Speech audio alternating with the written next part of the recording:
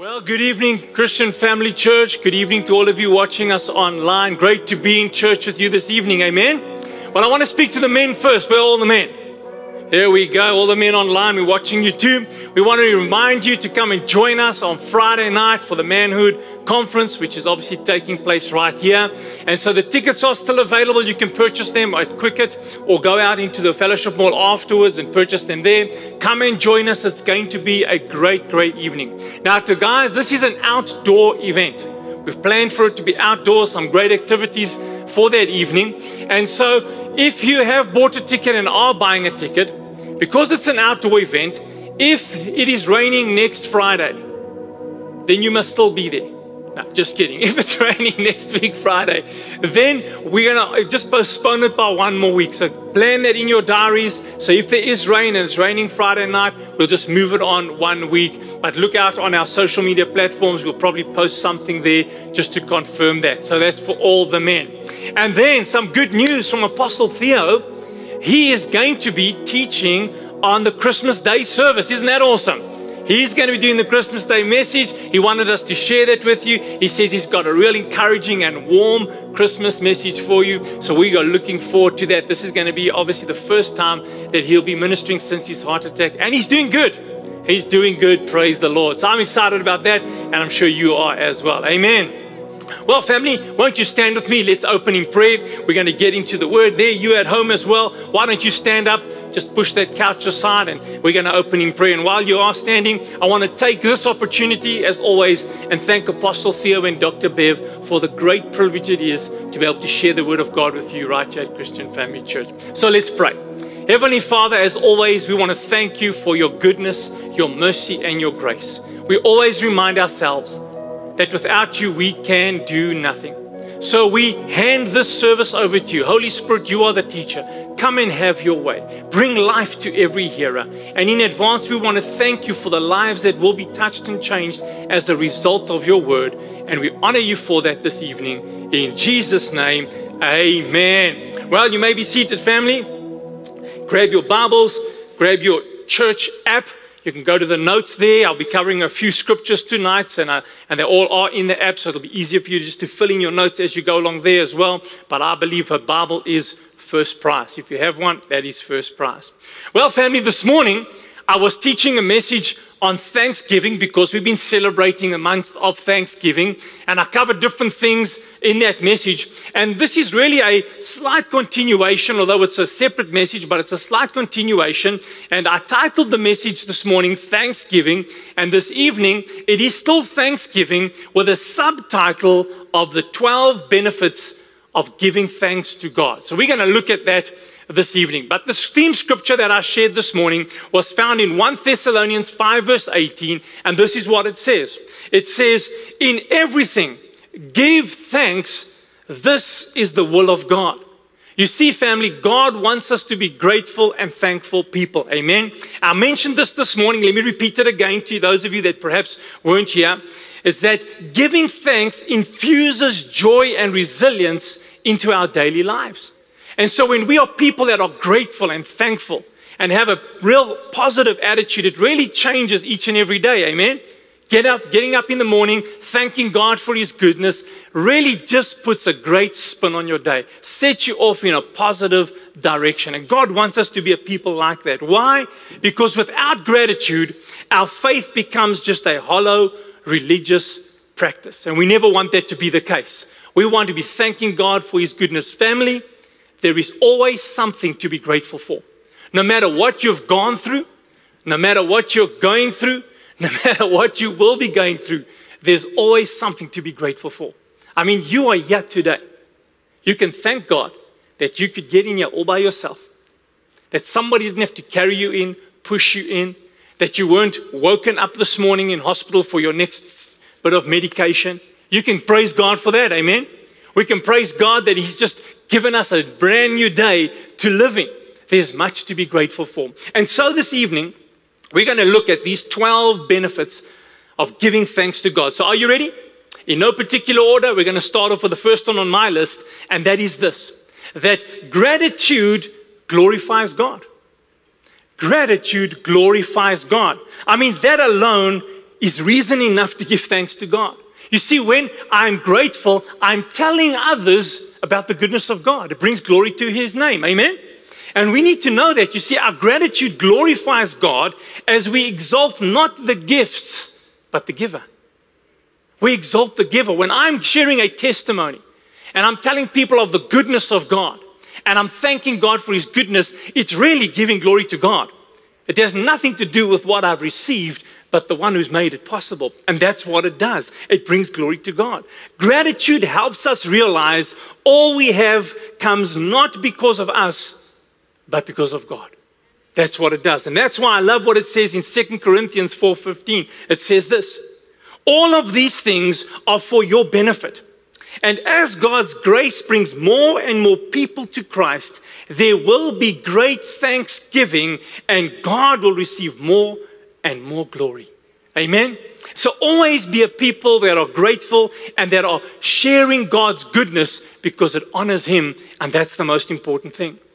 The second thing is that gratitude helps us see God. How's that possible? How can gratitude help us see God? Well, family, gratitude opens our spiritual eyes. There's a beautiful cycle in giving God thanks. The more we thank Him, the more we see Him working in us and around us. I mean, the fact that you can get up and say, Father, thank you that the sun is shining today. You see God in that. The more you get to just thank God for the little things around you, for the fact that you can have fresh breath, a fresh breath of air to take, you can see God in that.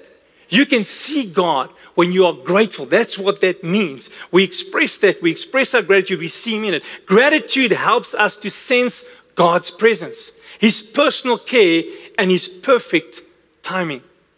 Isn't that so? Haven't you sometimes just wondered when, when something's happened and you said, gee, man, that was just God's timing? If it wasn't for that, I could just see God's hand in that. And you sense God more when you have a person that's uh, grateful. In James chapter 1 from verse 16, it says this Don't be deceived, my dear brothers. Every good and perfect gift is from above, coming down from the Father of heavenly lights, who does not change like shifting shadows. All good things come from God. Amen. All good things. The third thing is that gratitude puts us directly in God's will. Isn't that amazing? Gratitude puts us directly in God's will. You see, we often make out God's will to be something big or some mystical plan when sometimes it's simply just obedience. It's simply just obedience. You see, a part of His will is for us to be thankful, not just on the days when it's good, but also when we are going through challenges. And that's why our opening verse says this Give thanks to God, 1 Thessalonians 5:18. Give thanks in all circumstances. Why? For this is God's will for you in Christ Jesus. So if you want to be in God's will, just be a grateful person, giving thanks. Then you're in God's will by doing that simple step. The fourth thing is this that gratitude brings peace. Gratitude brings peace to you and I. You see, we are we should be counting our blessings each and every day. Some people, their life is so full of worries that at night to try and go to sleep, they count sheep. count sheep to try and fall asleep because there's so many challenges in their life. But gratitude helps us to see that God's hand is all over our circumstances. And God tells us when we give Him thanks, He gives us supernatural peace. We can read that in Philippians chapter 4 from verse 6. It says this Don't worry about anything. Instead, Pray about everything. Tell God what you need and thank Him for all He has done. Verse 7 If you do this, if you are a person who's thankful, if you do this, you will experience God's peace, which is far more wonderful than a human mind can understand. His peace will guard your hearts and minds as you live in Christ Jesus. You see, family, when we pray and take things to God and we thank Him for what He's about to do, we are at peace because we know He's faithful. He's going to do it. Amen. That's why gratitude brings peace. Because I'm thanking God knowing He's not going to let me down. I can relax. God has got this. Amen. The fifth thing is that gratitude draws us to God. Having a grateful heart draws us to God. You see, gratitude for the uh, uh, sorry, gratitude for the magnitude of God's undeserved kindness draws us to Him. We see this in the story of the ten lepers. You all heard of the story where Jesus was walking by and there were 10 lepers, and all 10 cried out to Jesus to be healed. Isn't that right? All of them cried out to Jesus. And Jesus, after praying for them, said this Go show yourselves to the priest, Jesus commanded. And as they went, they were healed. Now, that's an amazing thing. He prayed for them as they went off in faith, they were healed. Can you imagine what happened? Fingers growing back, limbs growing back, ulcers disappearing, their sensation coming back into their hands and feet. Can you imagine that happening? It was an amazing experience. And I'm definitely sure that all of them were happy about what took place. But only one was thankful. Only one was thankful. Only one came back to Jesus and fell at his feet and thanked him. And that's why gratitude draws us back to the Lord. In Luke 17, verse 7, it says this Jesus asked, Were not ten men who were healed? Where are the other nine? Is this stranger from another country the only one who turned back to give thanks to God? Then Jesus said to him, Get up and go your way. Your trust in God has healed you. My gratitude, your gratitude, draws me back to God. It brings me to the place where I thank Him for what He's done in my life. It helps me to bring Him back into my memory for the wonderful things He's done. Gratitude draws us back to the Lord. The sixth benefit is that gratitude brings contentment. When you are grateful and thankful, you are content. It's said that gratitude makes what we have enough. Let me say that again. Gratitude makes what we have enough. If we aren't grateful for what God has given us, getting more won't satisfy us either. Isn't that true? If we're not grateful for what you already have, having more won't change that. You'll just want more. We've got to be grateful for the things that we have. Being thankful is the key to being content. In 1 Timothy chapter 6 from verse 6 it says this, but godliness with contentment is great gain. For we brought nothing into the world and we can take nothing out of it. But if we have food and clothing, we will be content with that. When we are grateful people, we are happy with what we have. Amen. We are just content with life. And if you are a grateful person, I can promise you, God will continually meet your every need because there's no greed in your heart. And God will want to bless you so that you can continue to be a blessing. Amen. The seventh one is this that gratitude deepens your faith. It does not give you faith. We know that faith comes by the word, right? We understand that. But it deepens your faith. How's that possible? Well, keeping a record of God's past faithfulness is a faith boost when we face new difficulties. If I have a, a journal or a book of all the good things He's done for me, what then do I see? That God has a great track record. If he's, if he's been good to me in the past, He'll be good to me in my present, and He'll be good to me in my future. That's what it does. It deepens my faith. You see, God's record is 100%. He never fails you. He's the same yesterday, today, and forever. You can know that. And that's why God commanded Israel to remember His good deeds. In Psalm 136, verse 1, it says this Give thanks to the Lord, for He is good his love endures forever. And if you know that, if you're a person that's experienced that, and you have a history of his faithfulness, no matter what challenge comes, you can look back saying, if he was good then, he'll be good going forward. Amen? That's our God. The eighth thing is that gratitude leads to joy. It really does. Just think of that. That's obvious. Gratitude leads to joy. You see, the overflow of gratitude really is joy. Realizing God's abundant goodness even in the hard times, is a gateway for joy. In Psalm 126, it shows this so clearly as the Hebrew exiles sang this, uh, their thanks to God for bringing them back into Israel. And this is what Psalm 126 from verse 1 says. It says this When the Lord brought us back the captivity of Zion, we were like those who dream. Then our mouth was filled with laughter and our tongue with singing. Then they said among the nations, The Lord has done great things for them. The Lord has done great things for us, and we are glad. Isn't that awesome? It does. Gratitude just leads to joy. When we just thank God for the goodness in our life, our hearts full with joy because we know God is ever true and constant. The ninth one is that gratitude, listen to this one, resists Satan's lies. Gratitude resists Satan's lies. You see, you know that Satan can be a little bit cunning, right? He can be a little bit cunning, and he whispers that God isn't good and that he's withholding good from us. That's what he always tries to tell us that God's not good. And he, he tried these schemes right from the Garden of Eden when he questioned Eve and said, Didn't God really say, You may not eat from any tree in the garden? Eve responded, Only the tree of good and evil is off limits. Then Satan suggested that God was keeping something from them. Surely you can have everything. Why not that one? You see? You will not surely die, Satan said, for God knows that when you eat from it, your eyes will be opened and you will be like God, knowing good and even, evil. You see, family, in a garden that was perfect, that produced abundance without work and weeding, where every single plant except one had been given to Adam and Eve, Satan focused on the one.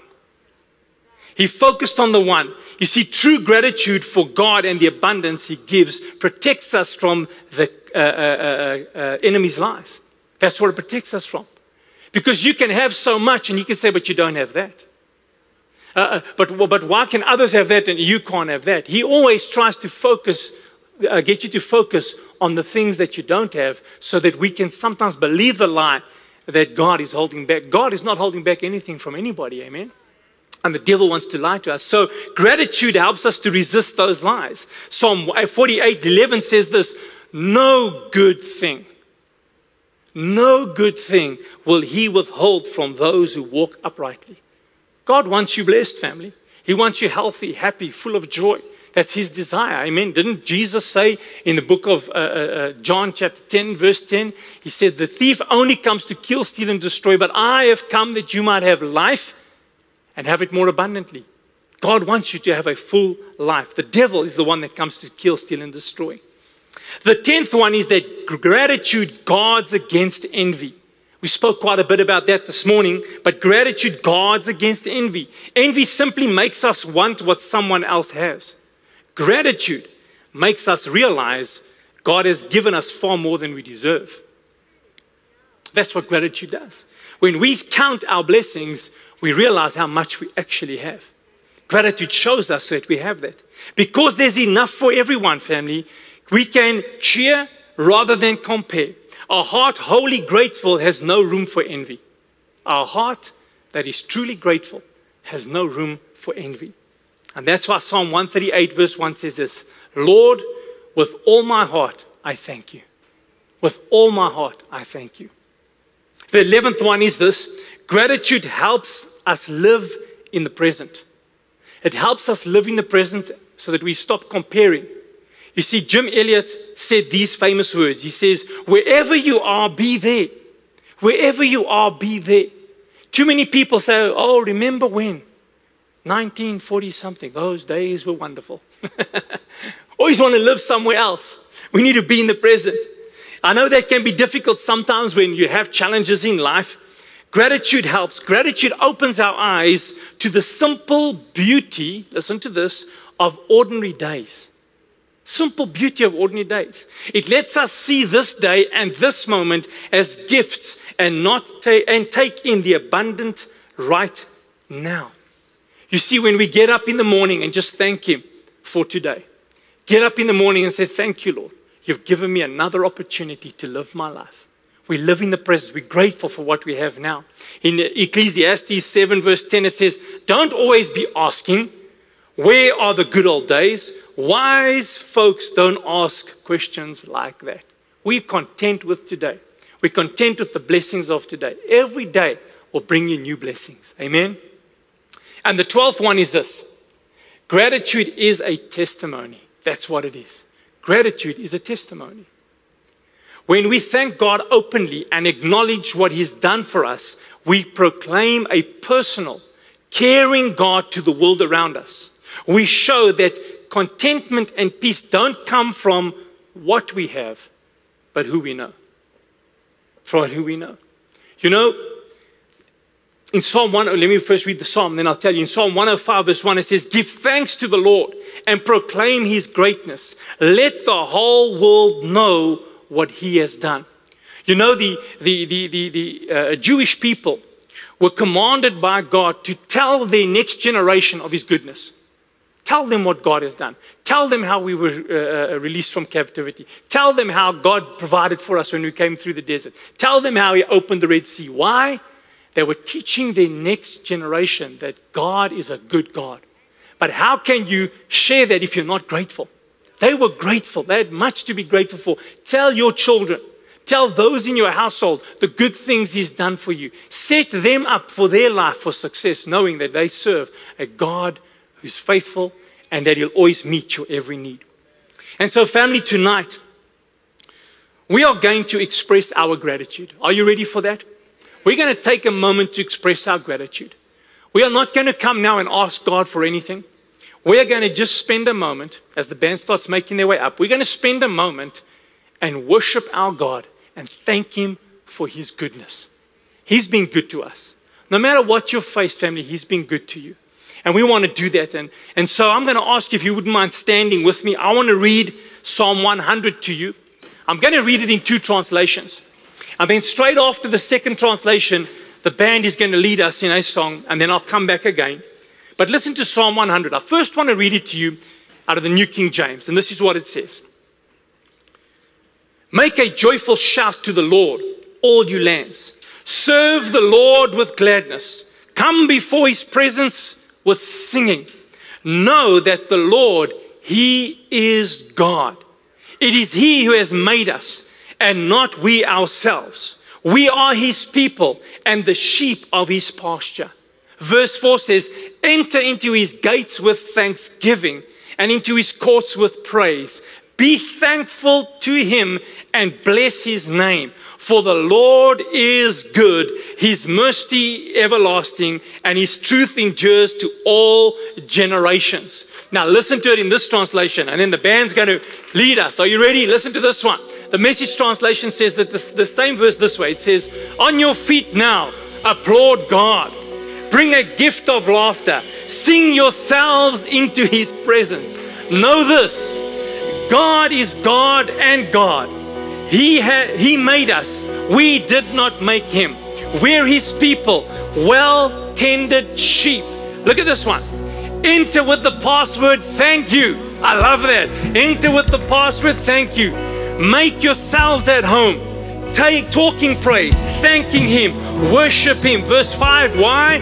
For God is sheer beauty, all generous in love, loyal always and forever. Amen.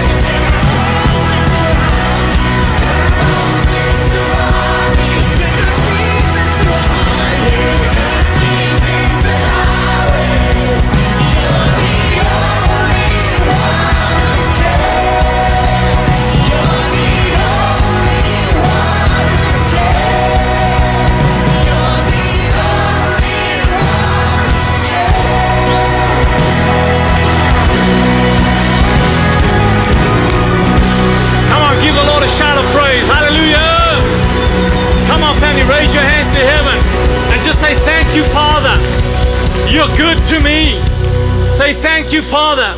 There's none like you. I worship you, my King. In Jesus' name, amen. Amen. Wasn't that awesome? Just to worship God. Hallelujah. Praise the Lord. Family, I want to encourage you. Let that be part of your daily life. Just thanking God and worshiping Him. Amen. Praise the Lord. Won't you take your seats? And as you do that, I want to give people here an opportunity this evening to make Jesus Lord of their life, that they can truly experience gratitude. And so, this evening, friend, if you're sitting here this evening or you're watching online and you've never made Jesus Lord of your life, I want to pray a prayer for you. I'm going to ask everybody just to bow their heads and close their eyes at this time. And, friend, the Word of God says in Romans that if you will confess with your mouth that Jesus is Lord and believe in your heart that God raised him from the dead, you shall be saved. It's as simple as that because Jesus has paid the price. So I'm going to give you an opportunity this evening to come to know Him as your Lord and Savior. Now, friend, I'm not embarrassing you. I'm not asking you to come out to me. I'm not going down to you if you're here in person. But simply in a moment, when I count to three, if you want to make Jesus Lord of your life, just raise your hand when I count to three and I'll pray for you. Heads are bowed and eyes are closed, and you in your homes can do the same. My second invitation is to anybody here this evening or watching if you once knew the Lord and, and, you know that your relationship with Him has grown cold, you're not serving Him the way that you used to, friend, come back home today. Give me the privilege of including you in that prayer. And you can know for sure that you'll once again be in a right relationship with God. And then my third and final invitation is to anybody that has this question in their heart. You might be wondering, what would happen to me when I breathe my last? Will I make it to heaven or will I Uh, fall into the flames of hell. Friend, if you'll allow me to pray with you tonight, you can know for sure that heaven will be your home. So at the count of three, you want to come to Jesus for the first time, you want to come back to Him, or know for sure that heaven is your home, won't you raise your hand now? One, two, three, and I'll pray for you. God bless you. God bless you. God bless you, sir. Good decision. Well done there. God bless you. Good decision. Well done. I see many hands going up. Great decision there. Well done, young man. Great decision. If you at home watching online, you can raise your hand too. I want to pray for you. It's so wonderful to see so many hands going up. Now, friend, I'm going to invite everybody here tonight to pray this prayer with you, but especially those that have raised their hands. Let's all say this prayer together. Say this with me. Say, Heavenly Father, I come to you tonight just as I am. Please forgive me for every sin. I do believe Jesus is Lord and He was raised from the dead. I choose tonight to forgive every person who has hurt me or offended me. And I thank you, Father, that I am now part of your family. In Jesus' name, amen and amen. Welcome to the family of God. What an awesome decision you've made tonight. Heaven's rejoicing, we are rejoicing, and we are truly grateful for the decision that you've made this evening. Now, friends, for those of you in person with us, I would like to ask you if you'd be willing to take a next step and just slip out into the aisle and go with the people in the aisle. We just want to give you something. We want to give you something tonight. They'll just spend a short moment with you. You'll be free to come back out.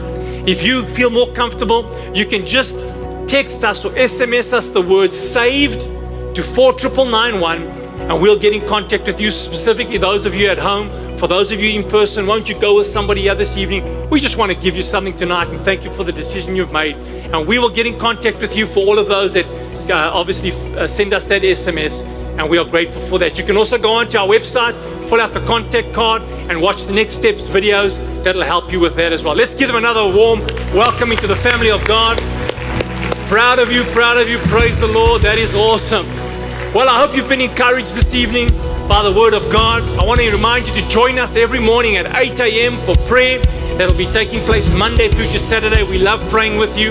And also, if you're here for the first time, come and join us at our Connection Center. We just want to meet with you and say hi and thank you for spending the service with us. And then remember that our growth track step one starts on the 6th of December. So you can log on if you want to do that online and register, or you can come in person after the service on the 6th and come and join us for step number one of Growth Track. Well, family, I'm going to ask you to stand as we vacate and obviously get, uh, get ready to clean out the building. Our band is going to lead you with an exit song. So thank you guys.